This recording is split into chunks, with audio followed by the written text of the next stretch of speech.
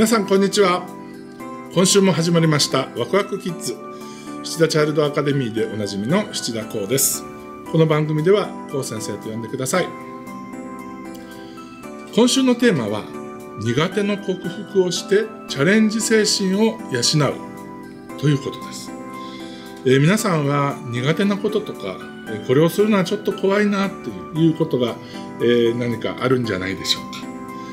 例えばあの高いところにいるのが苦手。そして、えー、ジェットコースターとかねそういうスピードの速いものにはちょっと苦手だという人たちがいると思います、えー、そういう場合はですねあの無理にあのもう怖くて怖くてしょうがないっていうのを克服しましょうというふうに、えそれを乗り越えましょうと言ってるわけではないんですけれども、えー、あのそうでないこと小さい時にはあの本当に幼い時にはできなかったけれども今やってみたらあのだいぶ成長してきたのでね大きくなったからできるようになってるということもあります。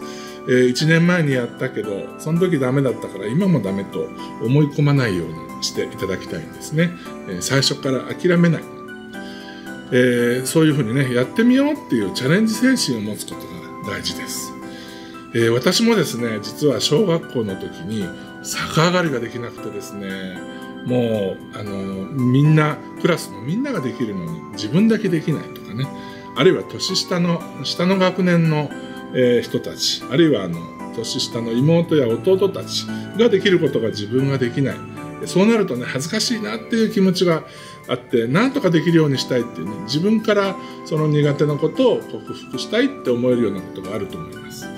えー、私の場合もそのえー、逆上がりがどうしてもできるようになりたくてですね、まあ、あの放課後に学校の隅っこにある、えー、砂場砂場のところにある鉄棒のところに行ってね、えー、何回も何回も足を投げ出して毎日やっていたらですね、えー、だいぶ時間かかったんですけどできるようになったんですね。とても嬉しかったです。そういうふうにして、えーと、自分で頑張って何かできなかったことができるようになると大きな自信になります。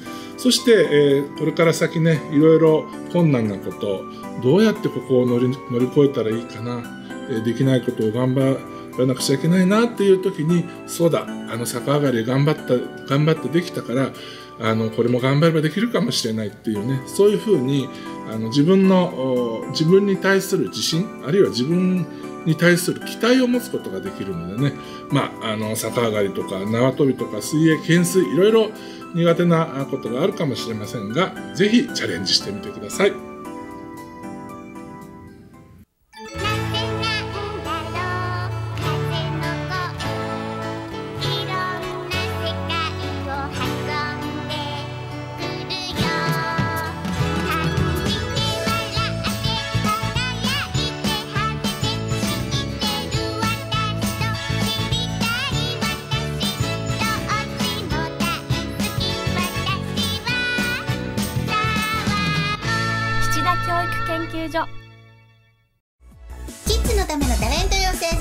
シャナラキッズアカデミーシャナラ TV でのレギュラー番組出演プラスボーカルモデル演技ダンスなどの充実したレッスンでキッズの魅力を本気で引き出す新発想のタレント養成所ついにオープン。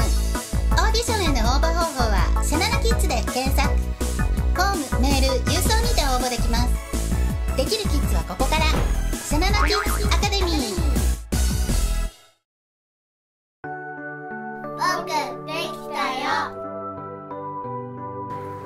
怖いよ。たっくんはお父さんの足にしがみついています。海風公園の大きな滑り台。今日こそ一人で滑ろうと思ってたっくんは張り切って登ってきたのです。それなのにそこから下を見ると地面がずいぶん遠くに見えます。滑り台は銀色にピカピカ光って先はぐーんと曲がっていてああやっぱり怖い。足がガクガクする。たっくんはとっても怖がりなんです。夜目が覚めてしまったらもう大変。お母さんの布団に素早く潜り込んでお母さんにぴったりくっつかないと眠れないんです。近所の大きくて真っ黒な犬のいるお家の前もたっくんは苦手です。お父さんやお母さんの影に隠れて足にしがみついて通ります。でもたっくんは今頑張っています。怖いものちょっとずつでもなくしたい。いつまでも怖がってばかりじゃいけない。だって僕お兄ちゃんになるんだもん。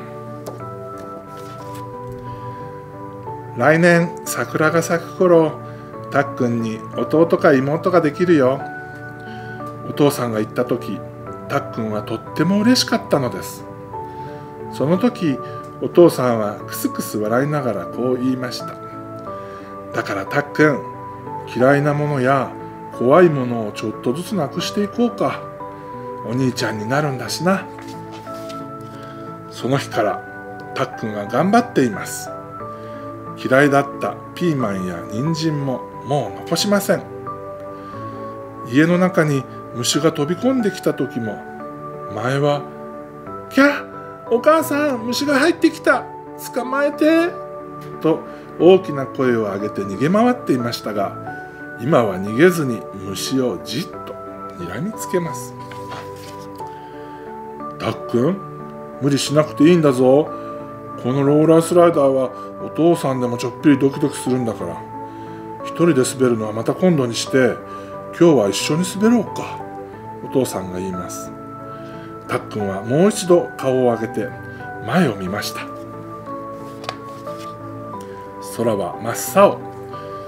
お日様に照らされて滑り台はキラキラしています。よしいける。だって僕お兄ちゃんになるんだもん。お父さん僕行くよ。えいビューン。くんは一人で滑り始めました。早い早い。風が顔にピューッと当たります。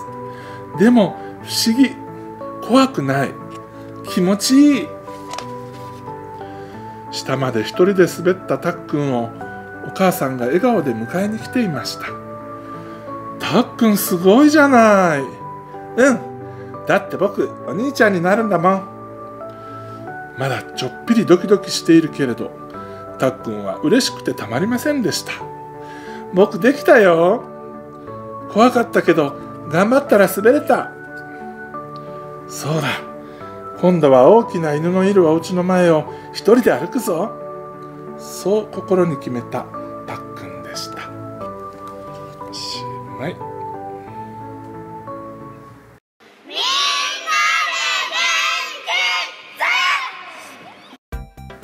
みんなで元気ッズのコーナーです。はい。このコーナーではお家やお外で親子で楽しめる遊びを紹介していきます。のりのり先生です。あのりのり先生。イエ溝先生です。イエイ。イチーム元気ッズです。いやー水田先生。はいのりの先生。ねだんだん暖かくなってきてね。えもう半袖で全然大丈夫だもうねいつも半袖やけどね。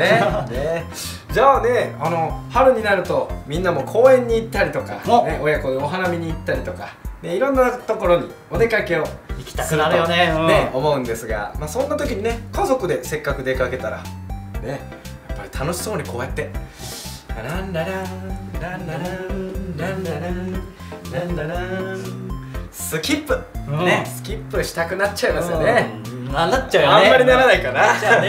ね。はい。ねでもねあのこの前実は以前にもスキップ遊びをねちょっとだけやったんですけど、うんちょっとだけ。あのなかなかスキップが難しいっていうねあの声がいろんなところからなるほどなるほど。ピュンピュンピュンピュン聞こえるので今日はねちょっと簡単にスキップができる遊びを紹介していきたいな必見ですねこれは。そうですね。ということで。やってみましょうか。はい。じゃあまずじゃあ水野先生は、はい。のりのり先生についてきてください後からね。まずじゃあしっかり見といてよ。よし。はい。じゃあお願いします。スキップこうやってやります。ほう。ランラランランラランラン。はい。なるほど。よし行くぞ。じゃあやってみて。せーの。よいしょ。よいしょ。よいしょ。よいしょ。なかなか上手上手。うんなるほどよし。じゃあ次はちょっと顔も楽しそうにやってみようか。なるほど顔もつけて。うんそうこうこう硬い顔しないでね。さあいくよ。あランラランランラランランランランほはいこんな感じで。顔もしっかり。せーの。ランダラン。ランダラン。すげえ家庭これはもう一息ね。ね。意識。そう顔とかも意識するとねね固まっちゃう。スキップも同じですね。なんかねスキップ上手にやろうとするとなんかこんなになっちゃったりねするあーからね。そう。楽な気持ちでねやってみる。リラックスでね。うん。いいと思います。わかります。はい。じゃあ今度はちょっと大きく。大きく。大きくスキップさあ伊藤先生頭気をつけて。はいどうぞ。よいしょ。およいしょ。おおダイナミック。およいしょはい大きくできたね。大きくできたよ。ね。あじゃあ今度は今度は早くいくよ。早く？見といてよ。うんどおいうでしょう？ルンルンルンルンルンルン早っ。こんな感じでいけるかな？よしせーの。うん。うんリズミカルだね。うん。よし次は じゃあこんな感じでスキップをねやるんだけど難しいよっていうねお友達もいると思います。でも反対に簡単だ！っていう人は例えば？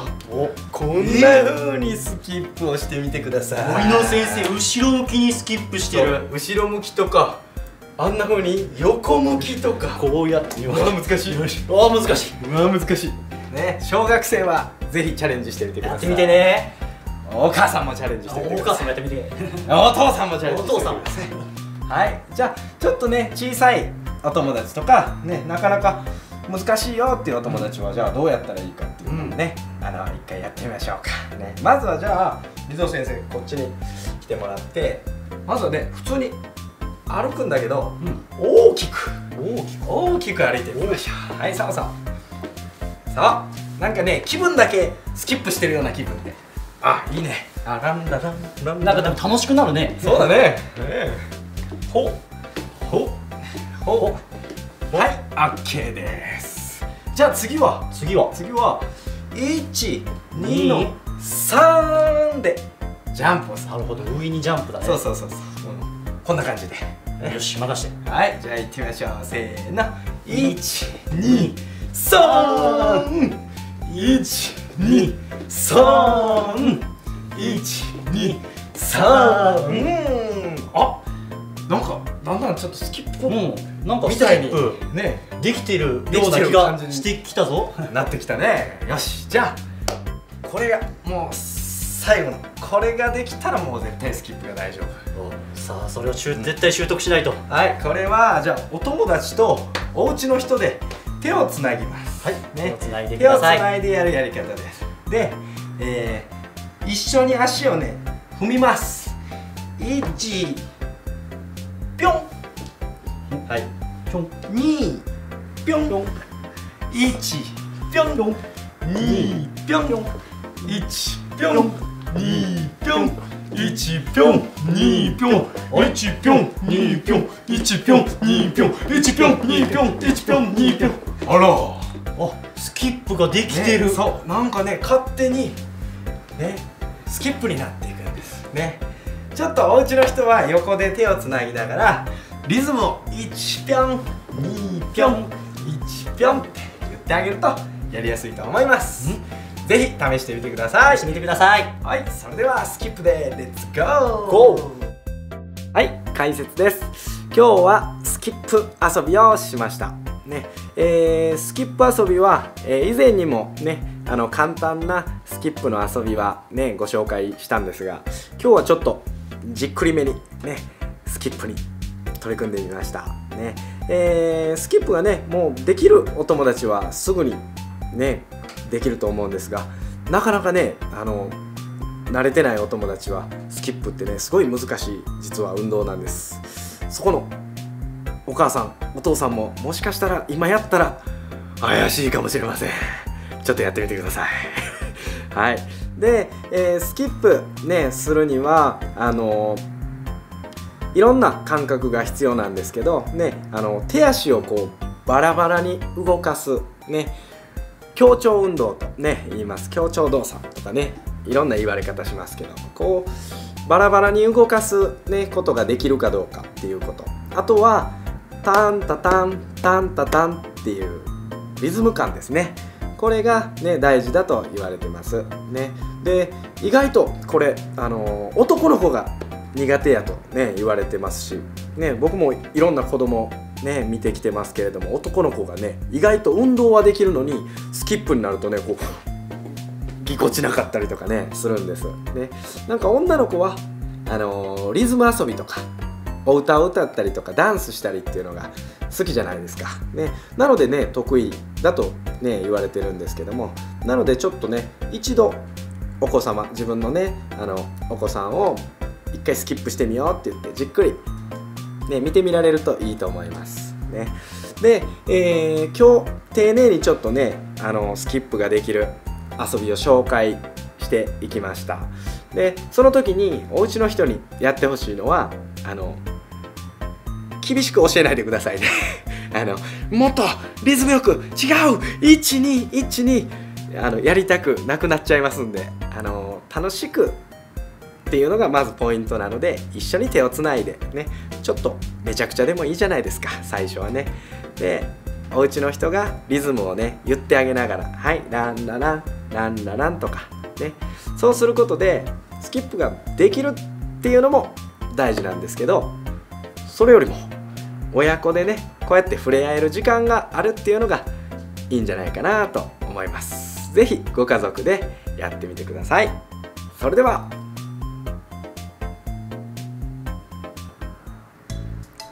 みんな、こんにちは。ひとみ先生だよ。よろしくね。まずは、国旗カードを見てみよう。最初は、2つの色が使われている国旗を見てみよう。これは、サウジアラビア。これは、ウクライナ。これは、ベトナム。いろんな色があるけれど、それぞれ2色が使われているね。じゃあ、これから問題を出すよ。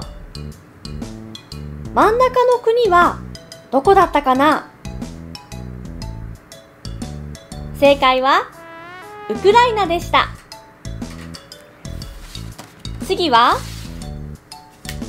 赤、黄色、緑の3色に、星のデザインの国旗を見てみよう。これはガーナ。これはトーゴ。これは？ミャンマー。とてもよく似たデザインだね。じゃあ、これから問題を出すよ。一番左の国はどこだったかな？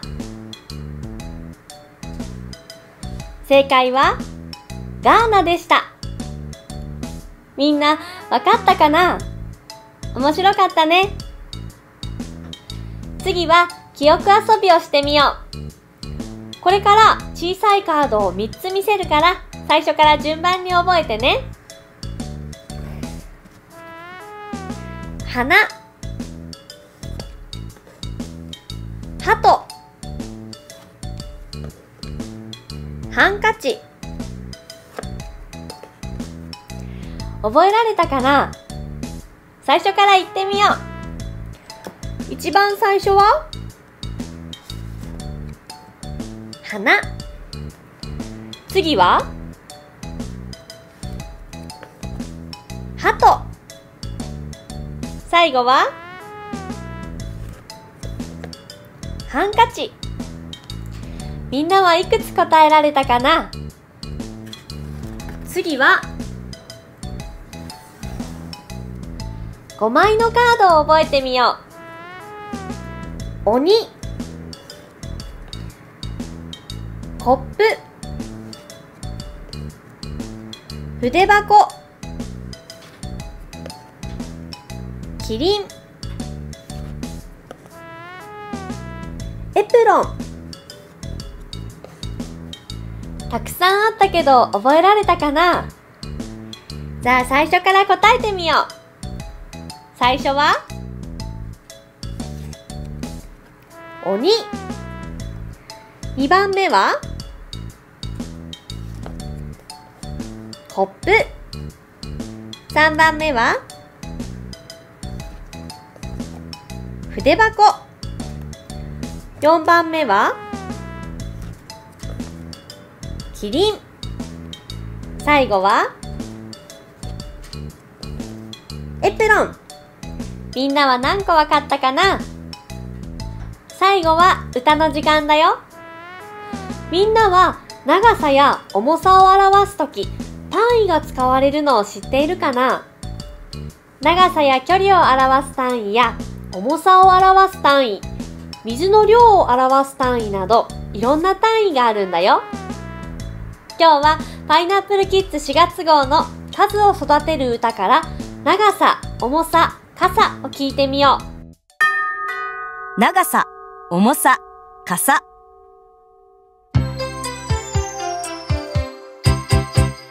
長さの単位を知ってるかい？長い短いって言うけれど10ミリメートルは1センチメートル。100センチメートルは1メートル。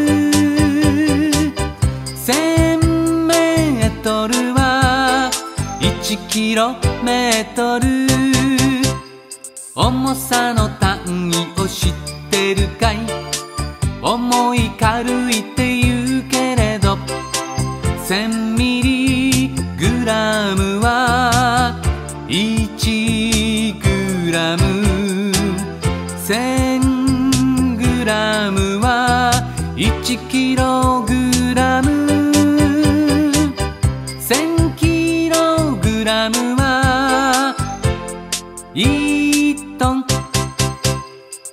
傘の単位を知ってるかい？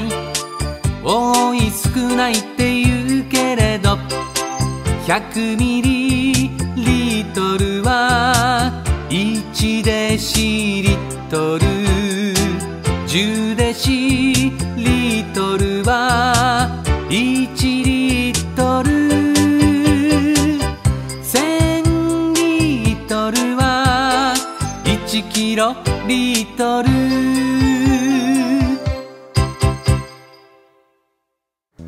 このコーナーはこれでおしまいだよ。ひとみ先生でした。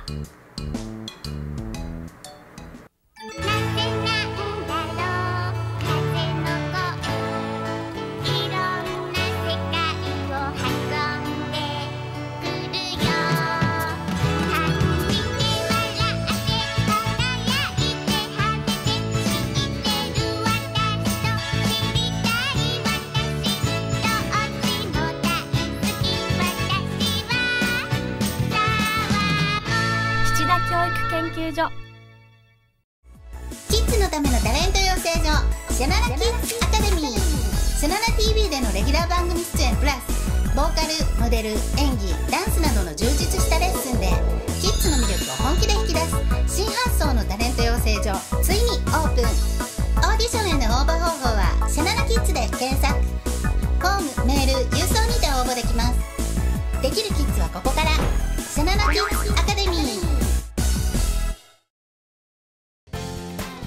次は体操のお時間だよ。体操の時間だよ。ゴーゴー元気ズっていう体操を今から踊ります。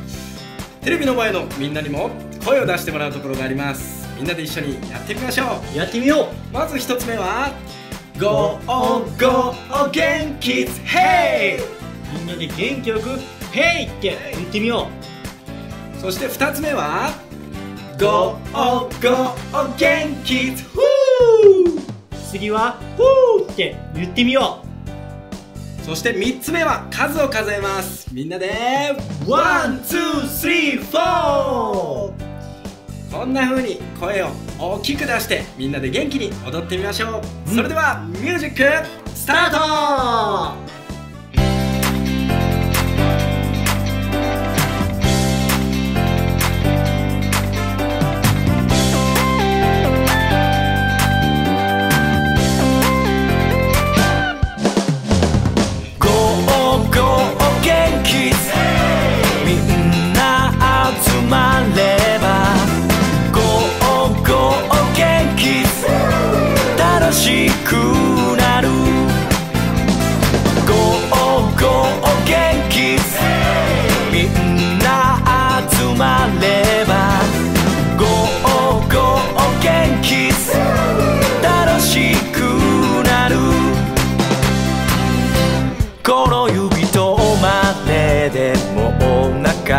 さ。得意でも苦手でも関係ないさ。走って転んでつまずいてへこたれても。僕らの合言葉今叫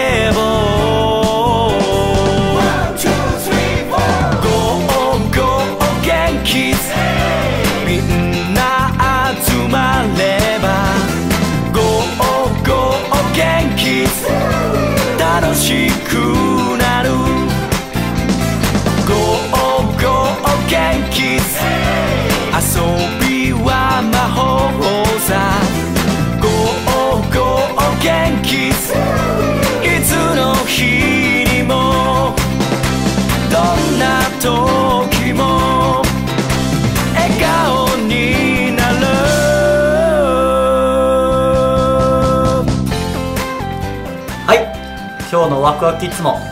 楽しかったかな？またお家やお外で遊んでみてね。今日はお家に帰ったらスキップの練習しようっと。いいね。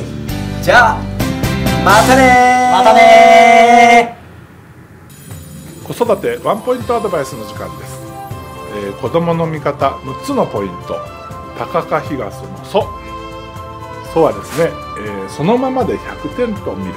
ということです、えーどういうことかと言いますと、えー理想の姿があって、えーそこから考えると、えーこれができないあれができないと言ってね、え減点していくのではなく今のまま、え3歳なら3歳なりのこの子の姿5歳なら5歳なりのこの子の姿というのを受け入れて認めてあげて、えよく頑張っていると、えそこを100点と考えてください。